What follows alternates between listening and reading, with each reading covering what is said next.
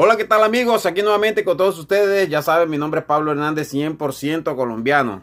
Aquí estoy con todos ustedes para ayudarlos y ayudarlos a echar para adelante para que esa música suene bonita y sabrosa, para que esos um, músicos eh, que están empezando, eh, ustedes que ya tocan, yo les echo un empujoncito para que suene bien sabroso y para que la cosa guste cuando suene ese instrumento, ¿ok?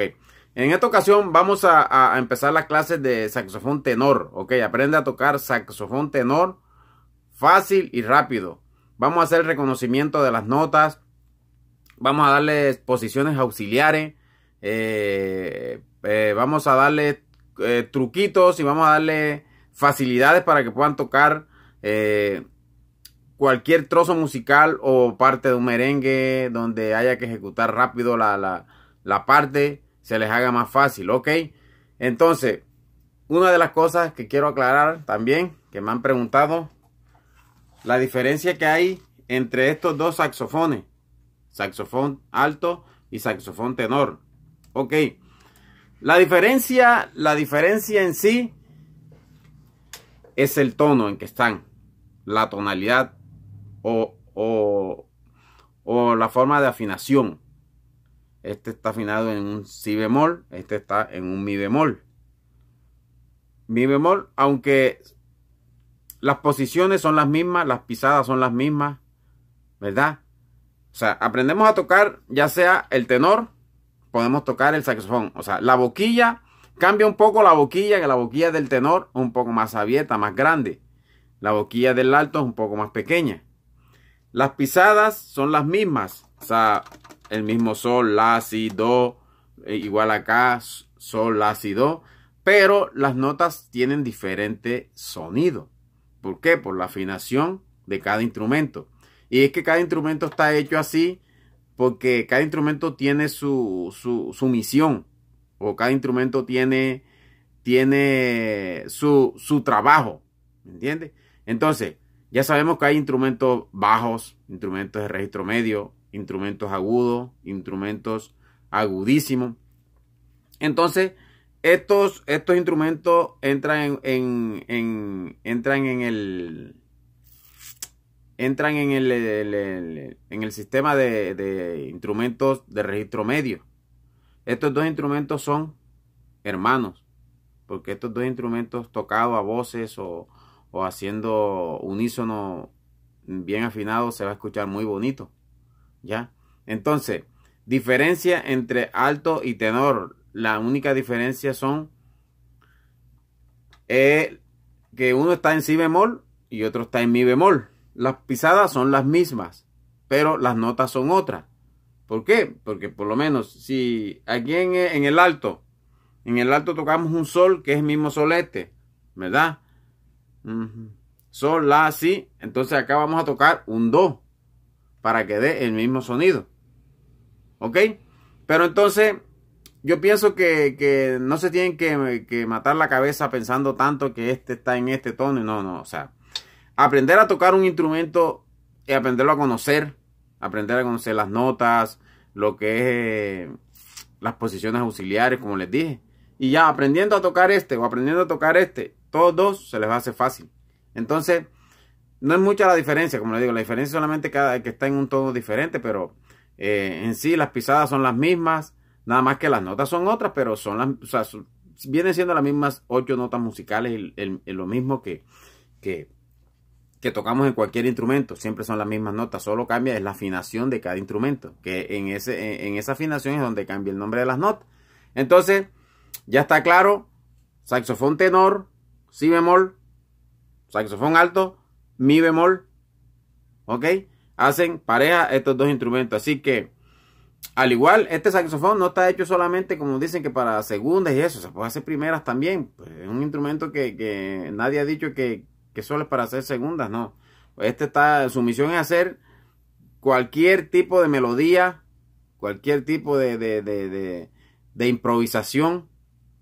Así que los animo a que estudien bien, bien, bien y practiquen bien, bien este instrumento. Este instrumento es hermoso.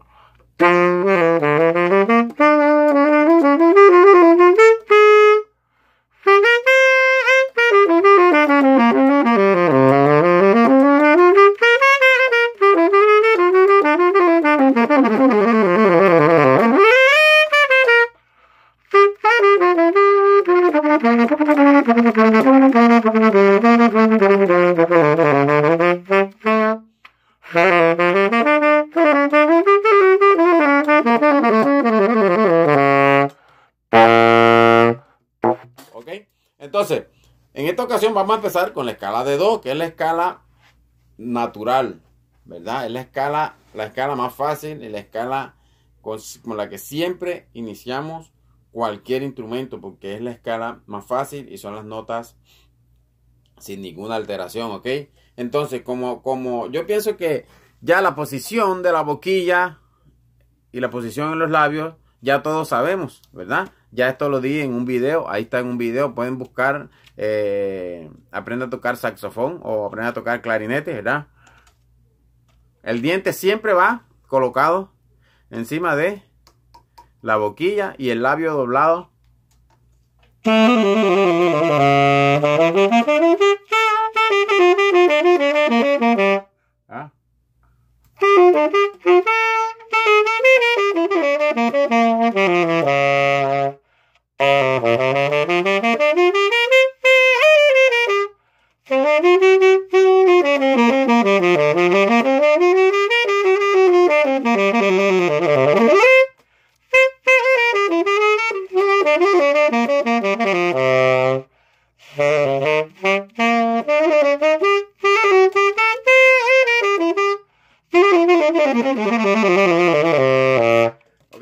entonces vamos a empezar con la escala de Do. La escala de Do ya sabemos que es la misma posición del saxofón alto. Los seis dedos sin agarrar nada atrás. Los seis dedos, 1, 2, 3, 4, 5, 6. Más la llavecita que está en la parte de abajo, en tu dedo eh, pequeño de la mano derecha. Vamos a empezar con esa nota.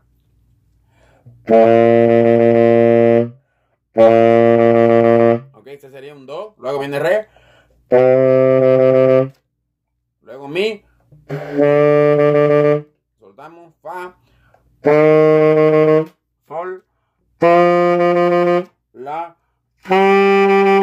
Si. Do.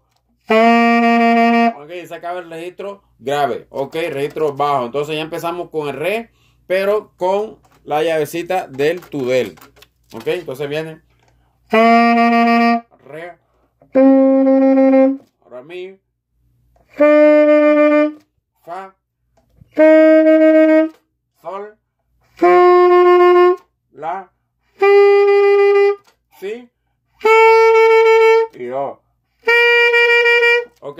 El Do. Vamos a empezar con la nota, con esta nota auxiliar que es el Do. Ya sabemos que este Do es. Pero podemos agarrarlo también como si fuera el Si, más la llavecita de, de las tres que están a tu, a tu dedo, a tu mano derecha, la del centro.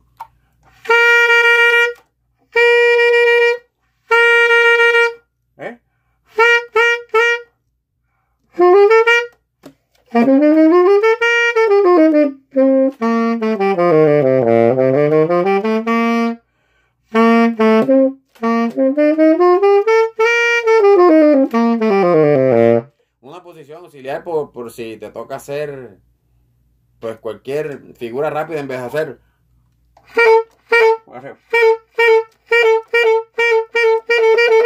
es más, es más difícil hacer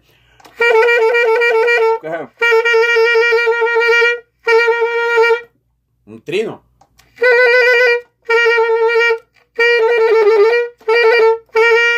¿Ok? Entonces, ya tenemos la escala de Do. ¿Ok? Entonces, repetimos.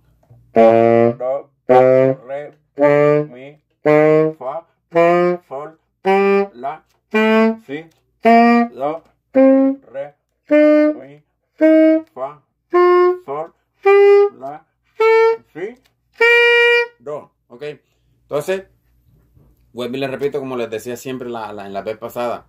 Esta es la escala de Do, pero no quiere decir que porque sea la escala de Do vamos a llegar hasta allí. ¿Ok?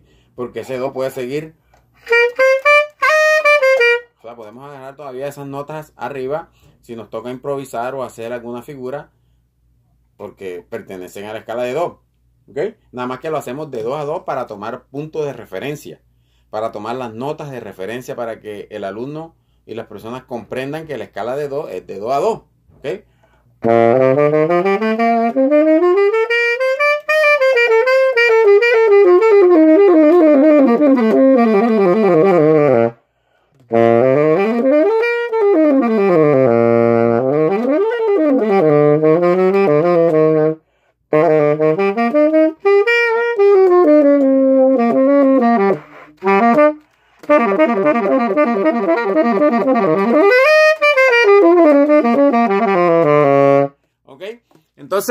ahí vamos a dejar esta primera clase, la escala de do. Luego vamos a tratar de, hacer más rápido todas estas escalas para que eh, yo sé que ya hay colegas que ya aprenden, que ya saben y que a otros que están empezando, pero con calma lo que yo les voy dando sé que les va a servir mucho. Así que espero que hayan comprendido esto y lo pongan en práctica. Lo mismo ya tengo otros videos ahí donde, donde eh, es para transportar las notas de trompeta a saxofón y de saxofón a clarinete y de clarinete a, de saxo a trompeta. Es lo mismo, este es como si fuera el tono de la trompeta, ¿ok? El tono de del bombardino, tono de clarinete. Entonces, espero hayan comprendido. Dios los bendiga y nos vemos en un próximo tutorial.